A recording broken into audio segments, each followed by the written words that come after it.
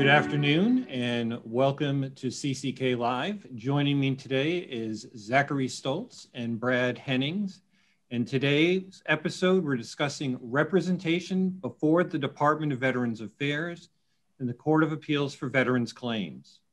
We're going to break down different options for representation before the VA, what accreditation means, what about costs and fees? We're going to discuss that as well and different types of representation.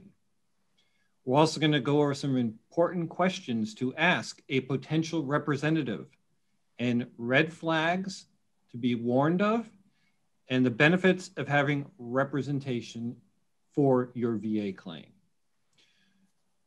Brad, can you start off by telling us what accreditation means and why it's important for a claimant or a veteran in a claim before the VA? Thanks, Robert. Accred- accreditation is key. It's important to note represented.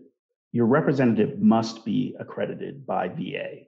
It is a requirement that the Department of Veteran Affairs have has. And what that means is that person has the legal authority to prepare, present, and prosecute claims before VA on behalf of veterans, dependents, and their survivors.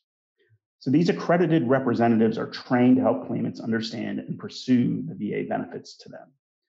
So that raises the question of well, how does this accreditation process work? What's involved? And what's involved is you have to, an individual has to apply to the VA Office of General Counsel. They have to provide self certification of admission information concerning practice before any other court, bar, or state or federal agency and that is if it is an attorney hmm. that's applying to be accredited. There has to be a determination, an affirmative determination of character and fitness by the VA.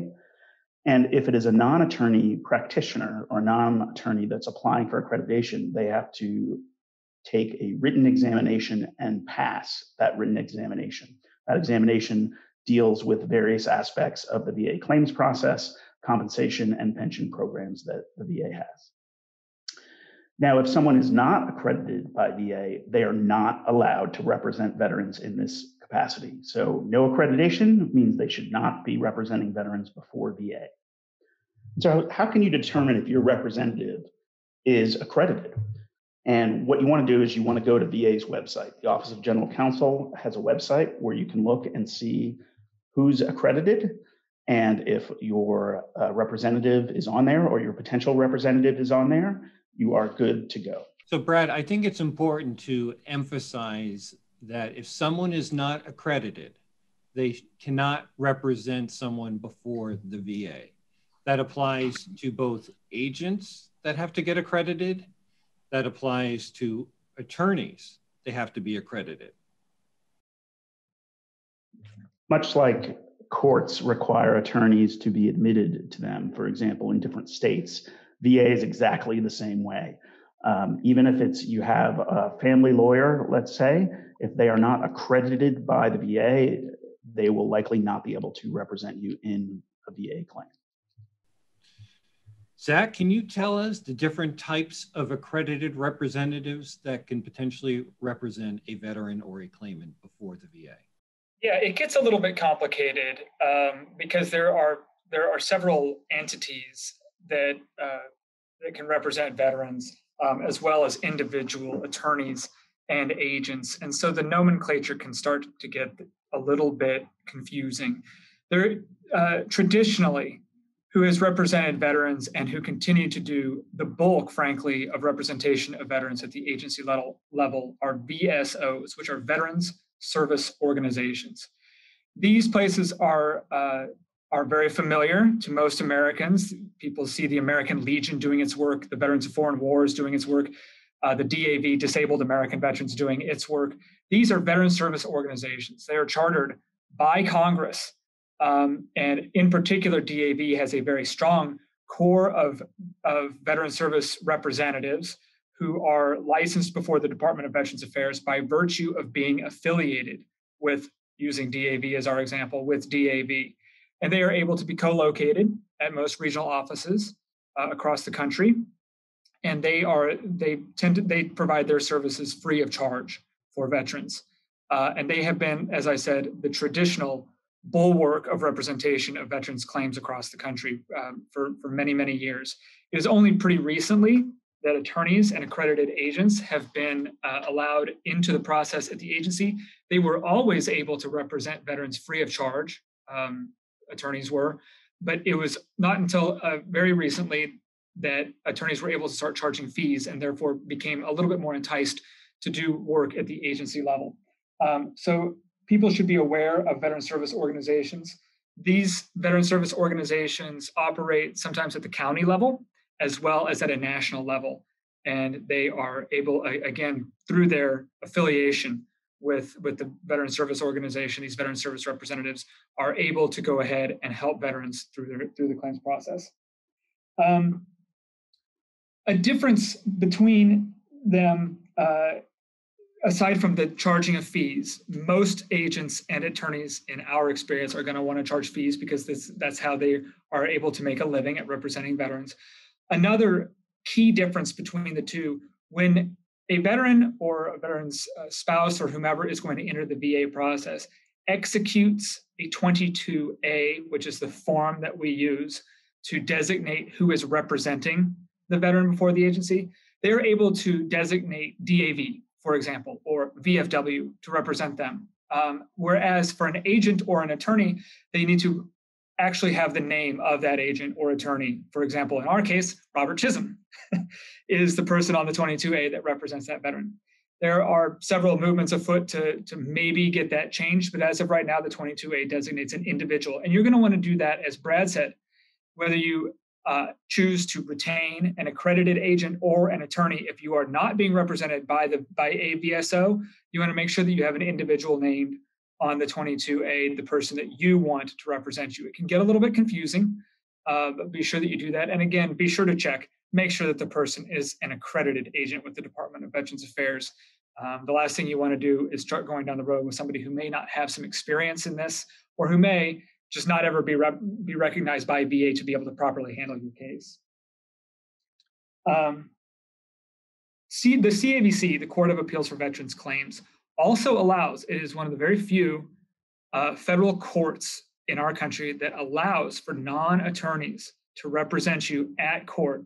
However, unlike at the agency level, which is the regional office or Board of Veterans Appeals, that's what I mean when I say agency level, when you get to the next step of the appeals process, which is the Court of Appeals for Veterans Claims, you can have a non attorney represent you.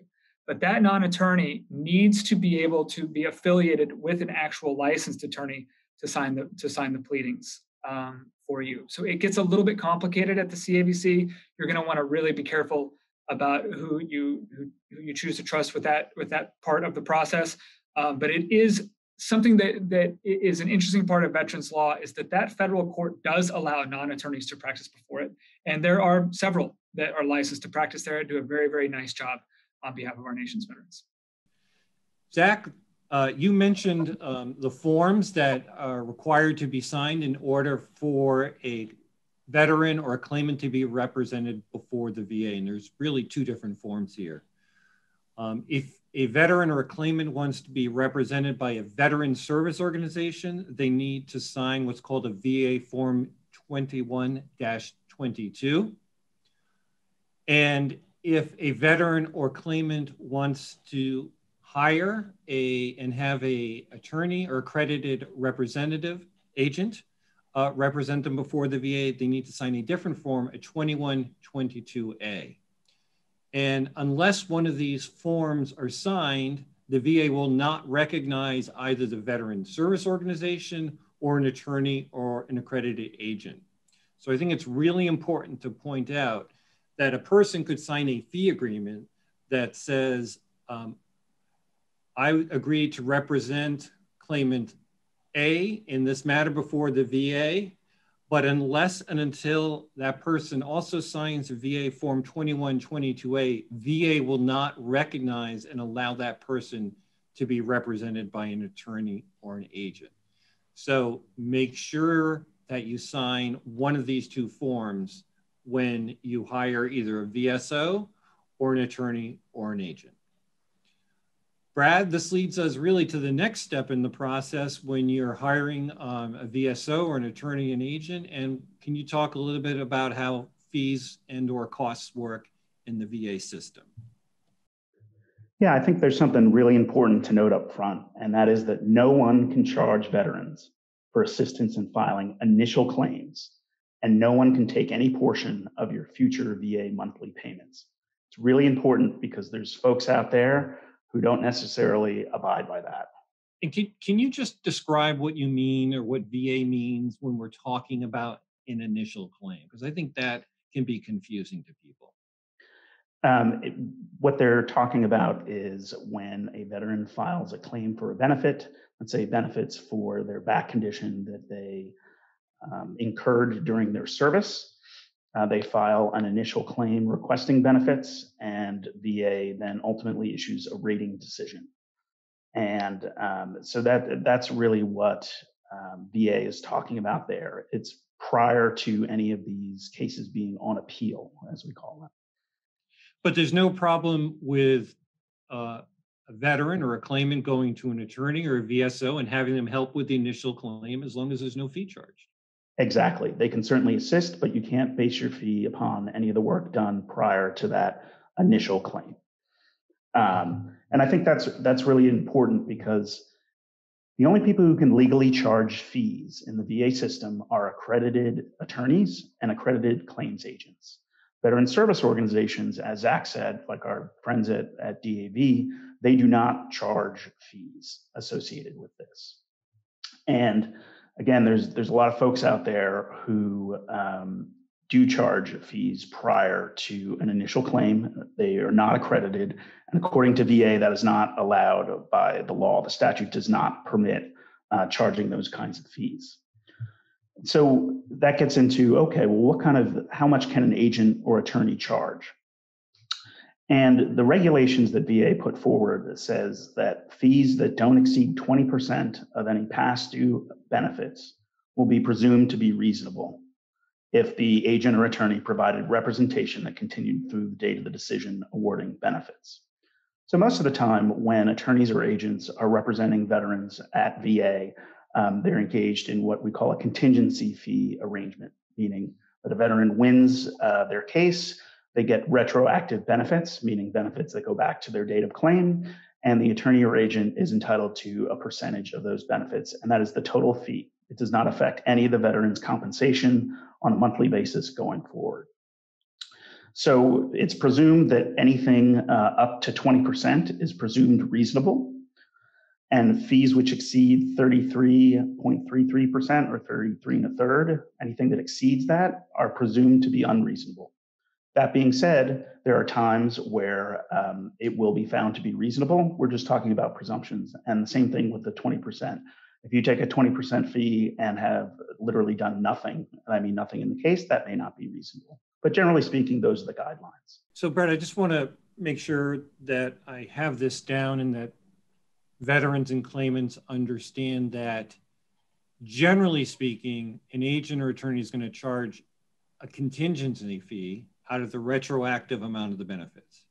So if someone is charging fees out of future benefits, so you get an award, an increase, say from 50 to 100%, and someone wants a portion of that for four years into the future, that's not allowed. That's correct. That is prohibited by law.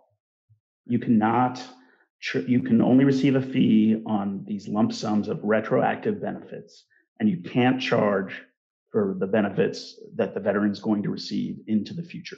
Um, Zach, that brings us to what factors will VA look at to determine whether a fee is reasonable or not? Yeah, this can become um, a, a pretty interesting area pretty quickly because the fact is that agents and attorneys tend to work almost exclusively uh, on contingency agreements in this line of work. It's like a plaintiff's type of, of law. And so, as Brad and Robert both talked about, uh, both agents and attorneys, when acting ethically, are going to take a percentage of past due benefits awarded as a fee. But that's not the end of the story because different amounts of work go into different amounts of uh, victories and and there it can become complicated pretty quickly. And so you need to look at a little bit of a totality of the situation to determine what is in fact reasonable.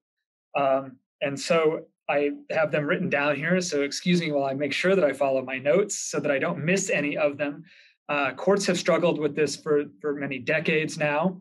Um, there's a lot of cases from both the federal circuit and the court of appeals for veterans claims about this.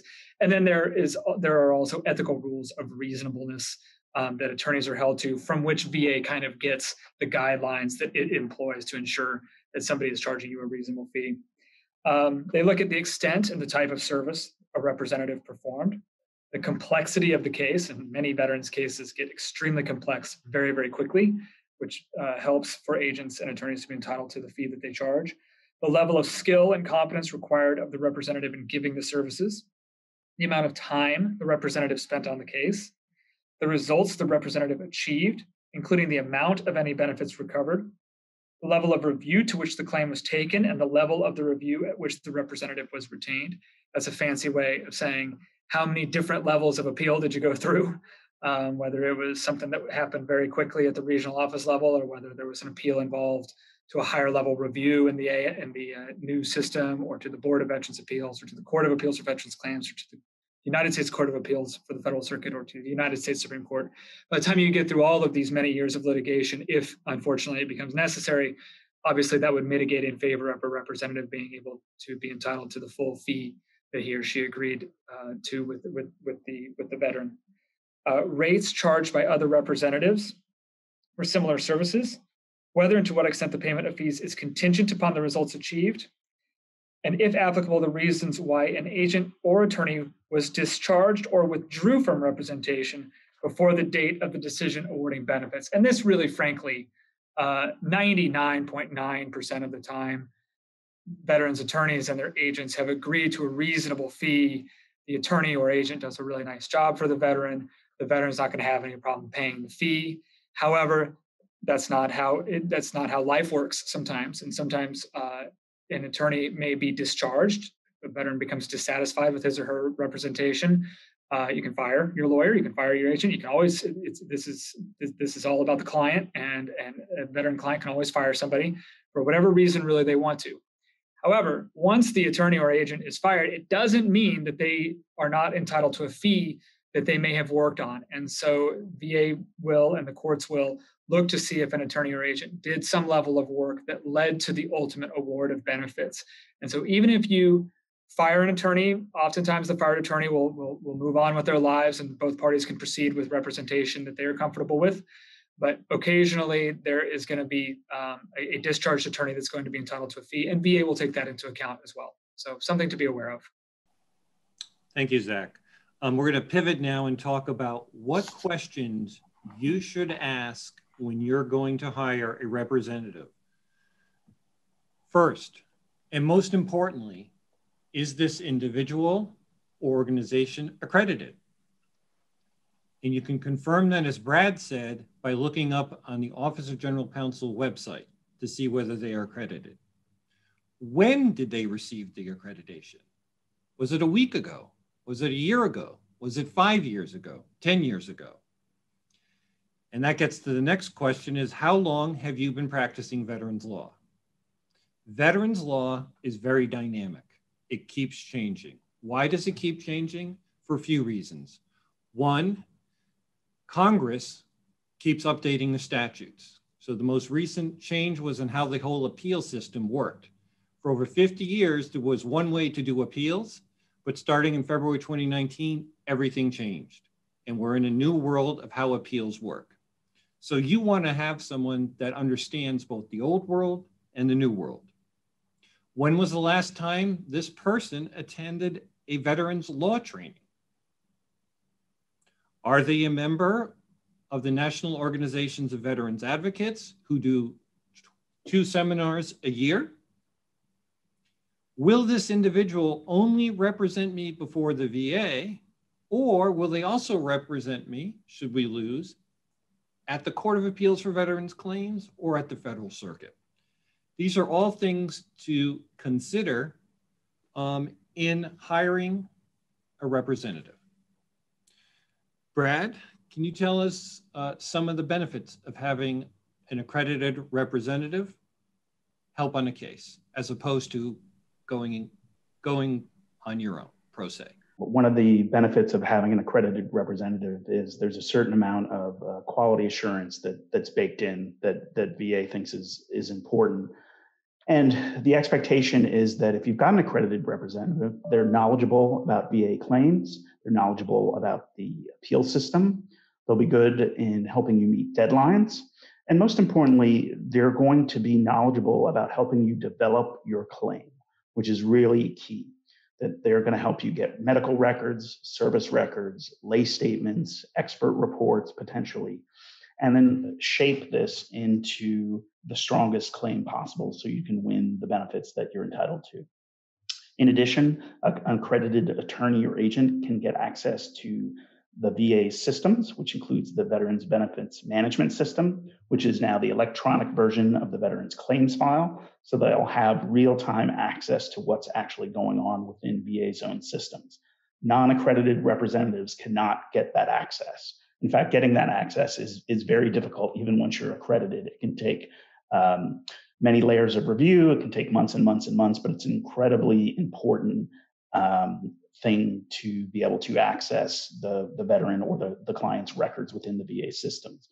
You can also get status updates about your case uh, through an accredited representative. And most importantly, they're going to help you fully pursue your claim to get you the maximum benefits available. Um, everything from potentially um, total disability to do due to individual unemployability, maybe 100% rating, maybe different levels of special monthly compensation what we're sharing here today and what we've shared here today is things to consider in hiring a representative. We talked about accreditation, we've talked about fees, we talked about the benefits of hiring someone who's accredited to help on a claim. Um, whichever path you choose, um, we believe that with the new appeal system, it's best to get some help and it's best to get someone who's accredited to help you whichever way you choose, whether it's a veteran service organization, an accredited agent, or an attorney. Uh, Zach, do you have any final thoughts you'd like to share? I do not. Good luck out there. This is a very complicated area of law, made much more complicated by Congress's recent actions uh, in in uh, passing the appeals the Appeals Modernization Act. Hopefully, what that all does is it does you know, it does end up helping veterans out, but for right now, it's a new system, and so it's going to be a little bit complicated. So careful out there. Brad, any final thoughts from you? Just uh, get an accredited representative, like you said, Robert. Uh, there's a lot of folks out there, unfortunately, who are not accredited, and I don't think that they're um, helping veterans in a way that's uh, meaningful or appropriate. Well, Zach, Brad, thank you both for joining us here at CCK Live.